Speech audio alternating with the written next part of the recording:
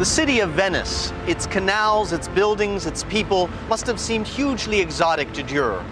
But he would have had a home base here among compatriots, in the so-called Fondaco dei Tedeschi, or German house, where he lodged. This grand building now serves as Venice's principal post office. In Dürer's day, it was a sort of compound or clubhouse where German businessmen lived, traded, networked, and played. Known as heavy drinkers, Germans could pursue their local habits here while also sampling the carnal pleasures that notoriously abounded in this busy harbor town. Dürer captured this clash of cultures. Alongside a fidgety Nuremberg housewife, whom he observed in the Fondaco, he sketched a more exotic creature, a Venetian lady, probably a prostitute, dressed in finery and dramatically posed as if all eyes were on her. To picture the contrast, his pen must master an alien style. Unlike the busy folds of Nuremberg drapery, the dress of the Venetian emphasizes the body underneath. Dürer was fascinated by the human body. Even before his trip to Italy, he sketched nudes from life, capturing them as they stood before him. Imperfect specimens who, naked and cold, keep slippers on their feet. In Nuremberg, Dürer had seen Italian studies of the nude, which seemed better proportioned with all parts gathered into a harmonious, balanced, and graceful whole. He assumed this resulted from some jealously guarded secret. To discover that secret, he experimented for himself with the Italian style of nude drawing, making his own work become more graceful and corporeal.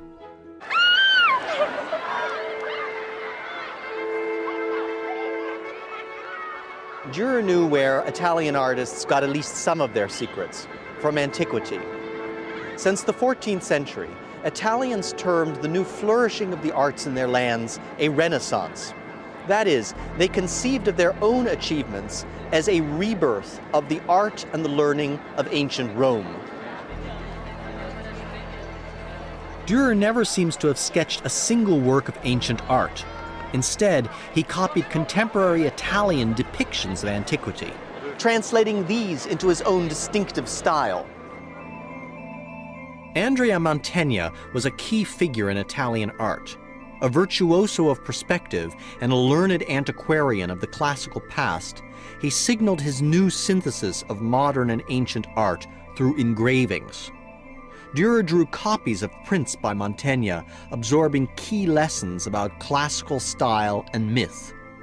Dürer didn't copy slavishly, however. With every line, he made these images his own. There was one great secret that Dürer wanted from Italian art that did not come from antiquity, and that secret was perspective.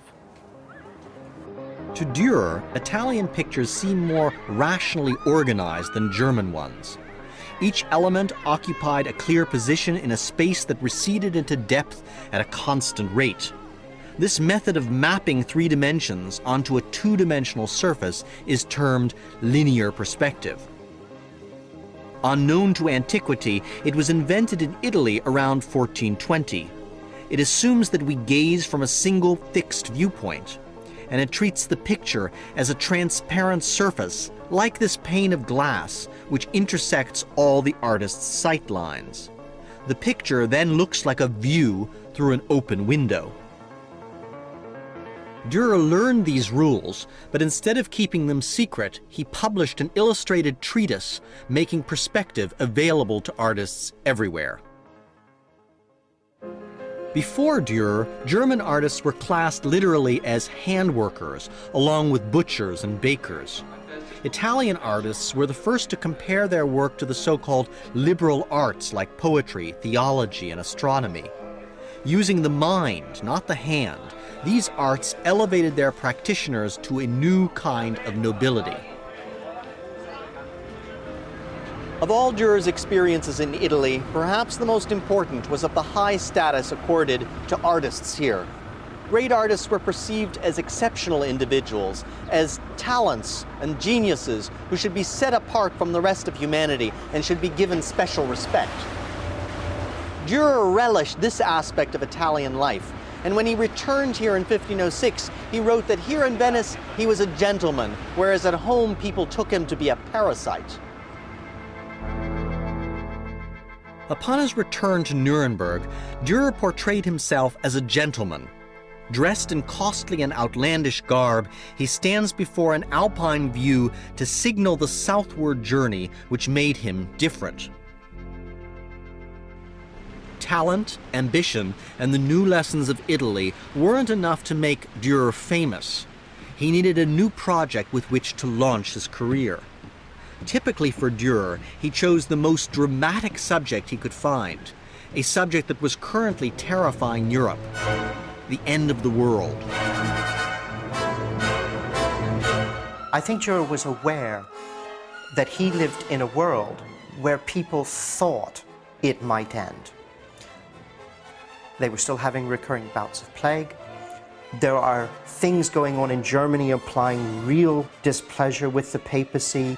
You then add to that the discoveries in the New World, which would appear to be satanic kingdoms. People who are cannibals, don't wear clothes, all of this makes you question everything you know about reality. Something's happening. Is it just a period of transition? Or is it the ultimate period of transition, the end of the world? But if you've got any sense and artistic skill, you'll publish a book on the apocalypse.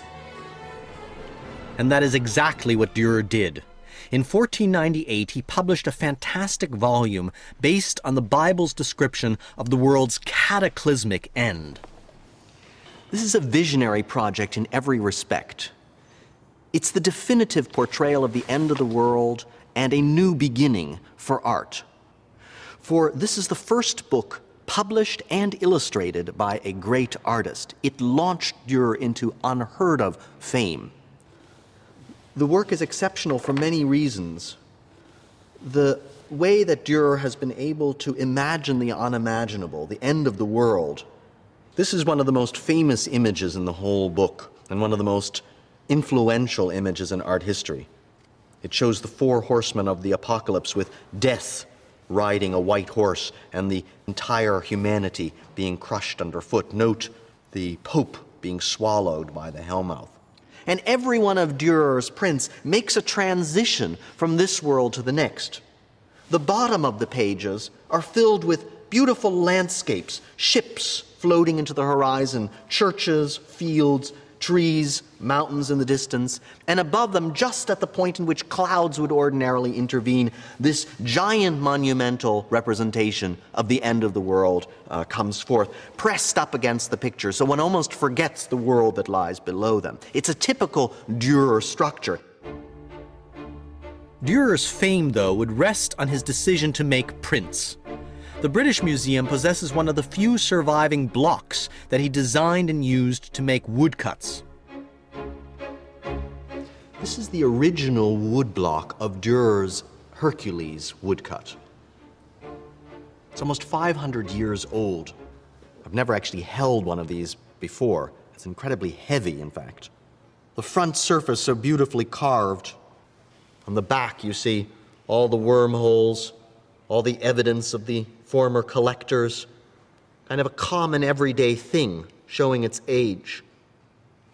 Whereas in the front, even despite the wormholes, you can see in every line, in every figure, Dürer's skill. He drew the design on the block, and then specialized carvers were able to transform his line into this incredibly complicated surface. A block like this lasts a long time, and once made, could produce hundreds, thousands of impressions without losing its original luster. Johannes Gutenberg's invention in around 1440 of movable type and the printing press enabled the book as we know it. This invention, as Dürer recognized, would change the course of history and revolutionize communication. Through printing, information was disseminated rapidly, dependably, and on a hitherto unimaginable scale. With printing, the world became a global village. printing allows a painter to produce cheap copies of the master painting and then to sell them at less than the painting, but to sell more of them. And if it goes like hotcakes, you can produce a lot more of them like hotcakes. And Dürer even does a very nice pen and ink drawing of printed books being baked in a baker's oven like loaves of bread, a wonderful recognition that you can produce print in the same way that you can bake loaves, you can distribute them at a penny a cost for each item, you can make a fortune incrementally instead of having to find a patron for a great work. Before Dürer, painters earned their living largely on commissions. Someone placed an order for an altarpiece, a portrait, an epitaph, and the artist made it according to the client's specifications. Printing multiplied his efforts and his audience a thousandfold. Now, for the price of a bratwurst, someone could own an artwork. But Dürer had to work speculatively, not knowing what would sell. He launched whole series of prints, scenes from folklore, pictures of the everyday, the erotic, the bizarre. Happily, whatever he printed found an eager public. It was Dürer who invented the market for his art. Dürer invested in a revolutionary new medium, and with new media, everything changes. With art, it's impossible to predict what will sell and what won't. I'm on Bayswater Road in London, the world's longest open-air art exhibition. Most serious art collectors turn up their noses at such events, yet this is mostly how Dürer's prints were sold, in open-air stands at fairs, usually with Agnes, his wife, behind the counter. Dürer could make hundreds of copies after his own design, but then so could other artists. They could take his composition and cut it on a new woodblock, or they could engrave it on a plate, and then they could circulate their copies as Dürer originals and keep the profits for themselves. Throughout his creative life, Dürer was a victim of plagiarism. The most notorious case was that of Marcantonio Raimondi, who copied Dürer's woodcuts complete with the AD monogram. Dürer sued. The verdict? The Italian forger Raimondi could copy Dürer, but he couldn't use his monogram. The monogram is a sign of authorship and of commercial property and like all good trademarks, its design is simple, artful, and distinctive. Dürer's monogram is the final ingredient of Dürer's fame. It's on all his prints, it's on virtually every drawing he made, and it's, of course, on his paintings. This is a precocious development. No artist signed their work as comprehensively as Dürer did until the 19th century. For Dürer, the ultimate trademark was himself. Sometimes he combined a self-portrait with a monogram, with a signature, all to make sure that everyone who looks at the picture knows whose vision it really is.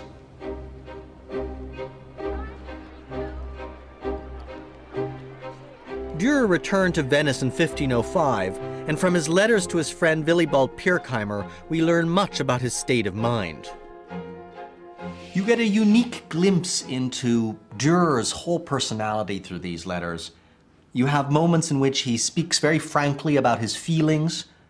The artist we meet is not the formal, great Albrecht Dürer of Nuremberg, but a kind of artist off stage who's able to caricature himself here at the base of this page, this very somewhat crude drawing with curly hair, and it might be indeed a self-portrait, this kind of crazy-looking guy smiling with his toothy smile about how well he's been doing in this Italian city.